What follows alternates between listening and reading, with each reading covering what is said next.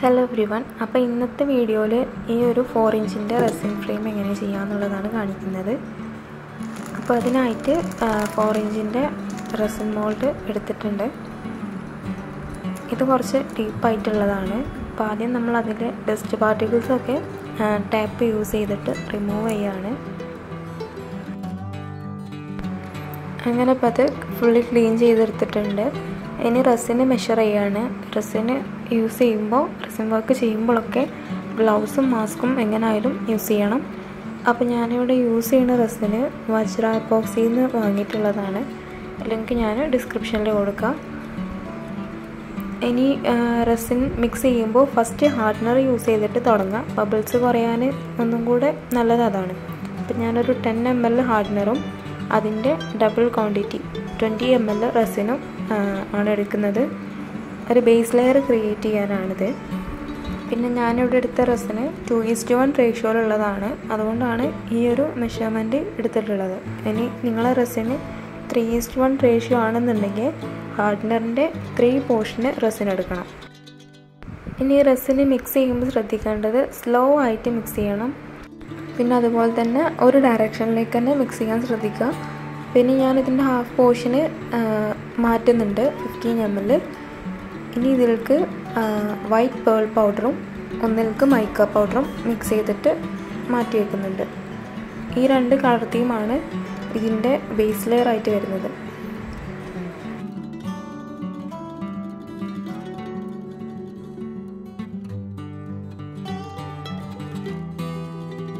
അപ്പോൾ ആദ്യം bubble buster spray ചെയ്തിട്ട് വേണം റസിന് ഒഴിക്കാൻ ഹാഫ് പോർഷനിൽ വൈറ്റും ബാക്കി പോർഷന് പിങ്കും മിക്സ്ചറുമാണ് ചെയ്യുന്നത്.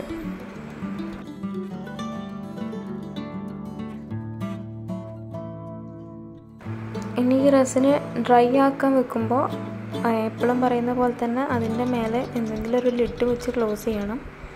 ഇനി അത്ര ഡസ്റ്റ് ഒന്നും വരാത്ത റൂമാണെന്നുണ്ടെങ്കിലും എന്തെങ്കിലും ഇൻസെക്ട്സോ അങ്ങനെ എന്തെങ്കിലും അതിന്റെ മേലെ വീണാൽ അതങ്ങനെ ഡ്രൈ ആയി പോകും. അപ്പോൾ എപ്പോഴും അങ്ങനെ എന്താ പറയുക ഒരു ലിട്ട് വെച്ചിട്ട് കവർ ചെയ്ത് വെക്കുക. ബബിൾ ബസ്റ്റർ സ്പ്രേ ചെയ്യുന്നുണ്ട്. പിന്നെ ഇടയ്ക്ക് വന്ന് നോക്കുന്നത് നല്ലതാണ്. എയർ ബബിൾസ് എന്തെങ്കിലും ഉണ്ടോ എന്നുള്ളത്. ഇനി ഞാനിവിടെ ചെറിയൊരു ഡിസൈൻ പോലെ അങ്ങനെ ചെയ്ത് വെക്കുന്നുണ്ട്.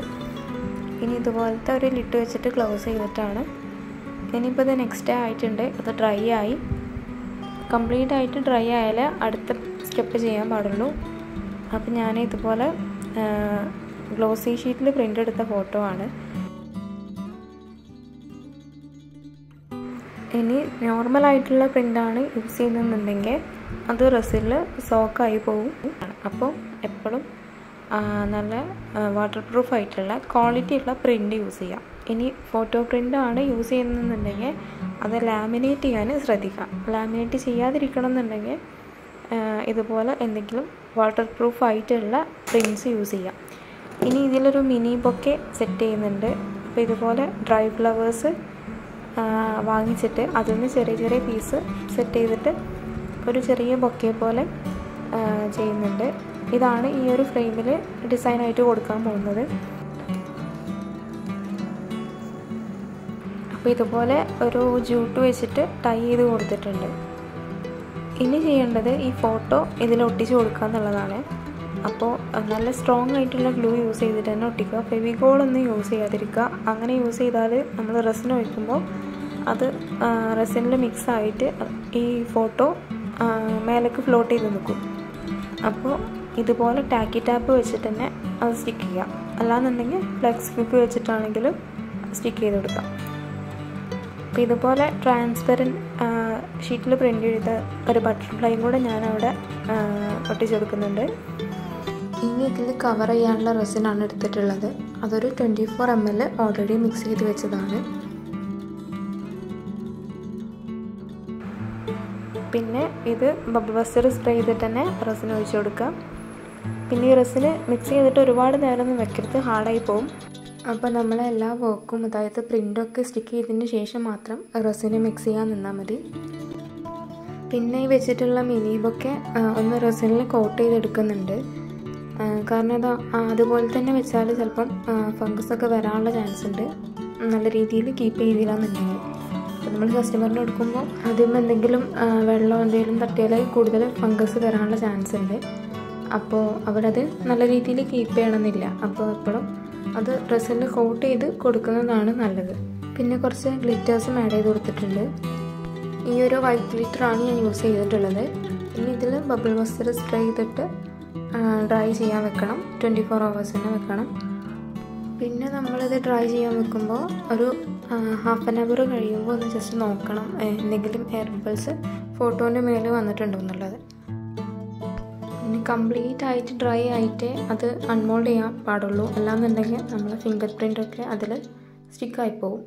അപ്പോൾ പിന്നെ നമുക്കത് റീകോട്ട് ചെയ്യേണ്ട ആവശ്യം വരും. ഇതാണ് ഫൈനൽ ലുക്ക് വരുന്നത്. ഫോർ ഇഞ്ചിൽ ചെയ്തെടുത്ത ഒരു മിനി ഫ്രെയിമാണ് അപ്പോൾ ഇതൊന്നെങ്കിൽ ഡ്രിൽ ചെയ്തിട്ട് ഹാങ്ങിങ് വെച്ചിട്ട് ചെയ്യാം. അല്ലാന്നുണ്ടെങ്കിൽ ഇതുപോലെ സ്റ്റാൻഡ് യൂസ് ചെയ്തിട്ടും സെൽ ചെയ്യാം.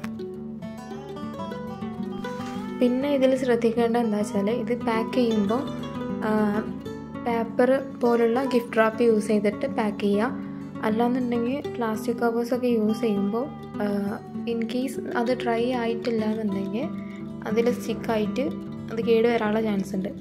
നമ്മൾ പെട്ടെന്ന് ഡിമോൾഡ് ചെയ്ത് പാക്ക് ചെയ്ത് കൊടുക്കുന്ന സിറ്റുവേഷനിലൊക്കെയാണ് അങ്ങനെ വരിക അല്ലാന്നുണ്ടെങ്കിൽ വലിയ ഇഷ്യൂ ഇല്ല. എന്നാലും പേപ്പർ പോലുള്ള എന്തെങ്കിലും ഗിഫ്റ്റ് റാപ്പ് വെച്ചിട്ട് പാക്ക് ചെയ്യാം. ആ ഒരു കോട്ടിൽ ചെറിയൊരു മിസ്റ്റേക്ക് കണ്ടപ്പോൾ അവിടെ ഒരു ബട്ടർഫ്ലൈ സ്റ്റിക്കറും കൂടെ ആഡ് ചെയ്ത് കൊടുക്കുന്നുണ്ട്.